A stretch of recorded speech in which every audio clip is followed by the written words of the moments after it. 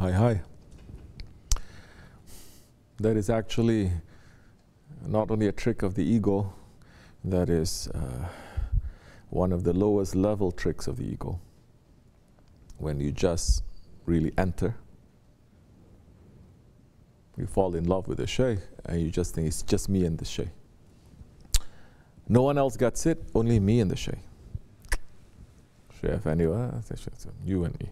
And person believes, yeah, you and I, only I and him. They believe, they believe, they believe. And then one day, Shavan is going to wash him up. Suddenly, everything is finished. They break. And the idea is, I thought it's only the two of us. I thought we have understanding. I thought we're buddies. What happened? Now you're saying I'm like this? to you too. They start doing that. There's in so many who kiss his hands and feet. After a while, Shaykh, and he just poke them a little bit because your ego is so puffed up like a balloon. One little needle poking like that, they explode. And they turn around and they start cursing at him. This is normal. We've seen it happening for decades. Decades we've seen it happening. So, it's one of the biggest tricks of the ego then to say it's only me and the sheikh. Nobody else gets it. I don't like anyone. Nobody likes me. Only I like the sheikh. Bruh, the sheikh is not your buddy. He is a sheikh. And one day, the sheikh may draw you close. One day, he's going to push you very far away. Who are you to say, why are you doing this to me? There were certain days, the Sahaba Kiram, they were so close to the Prophet. And there were times the Sahaba Kiram, they have to be very, very far away from him. They submit. These ones, they are saying, no, because we write a contract. You always have to have me by your side. One day the Shaykh will say, come. Next day the Shaykh is going to say, go. One day the Shaykh is going to say, open. Next day the Shaykh is going to say, close. There are reasons for that. But if you are not looking to see through the eyes of your Shaykh, then your Shaykh is shaitan. And shaitan is going to give you the reasons. And that time the shaitan will give you every reason. As you found 1,000 reasons to love your Shaykh, shaitan will find you 1 million reasons to hate him. You hate him, everything. From the way he sits, to the way he talks, to every, the way he eats, everything you're going to hate. Because your heart has turned. so, one thing we can say, Alhamdulillah, that through Chef and his training, and so many of you are witnesses here, he never really took me for a buddy, someone that he's close to. So many times, in fact, is showing. Uh, so, some people, their motivation is different. It's not to show that you are so close to the Shaykh.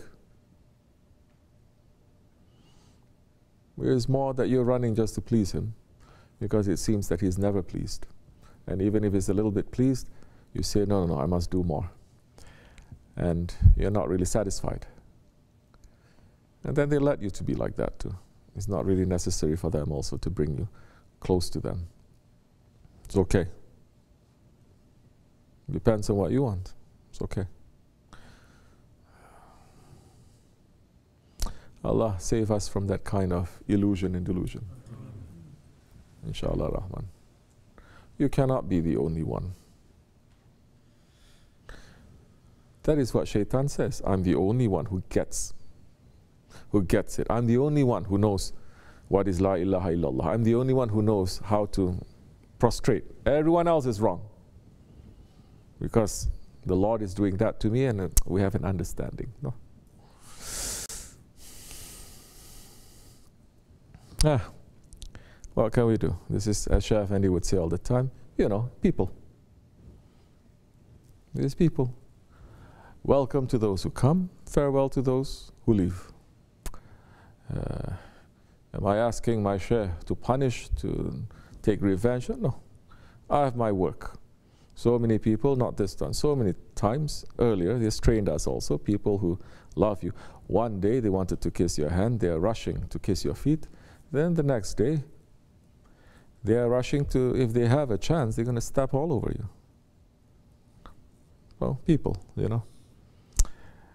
But we don't, we're not busy with that because Shafin had given us a job. If Shafin is not giving you anything, then you're going to be busy with all that talk and cursing and everything because you have nothing else to do. The work that you have, you're not doing anyway. You're dropping it. Uh, it's like the master is pointing you to be a dog. You are his dog. But instead of going to collect the uh, hunt the prey and to bring to the master, they went and they eat the prey. We're watching. But if you eat the prey, you are eating haram. And we are watching the effects of that haram. One of the effects of eating the haram is that you don't have any fear in your heart. You don't have any fear. There is no uh, fear and doubt. Am I doing something wrong? Then you're going to check, you're going to sit, and you're going to understand, you're going to read through every sign. You become very, the heart has become closed now. You say, nope, I'm 100%. As the race of the house of Osman had prayed for us last November when we went. Hmm. Do you remember? Do you remember? You still have the recording? We're going to release it. He's saying what? May all the children of what?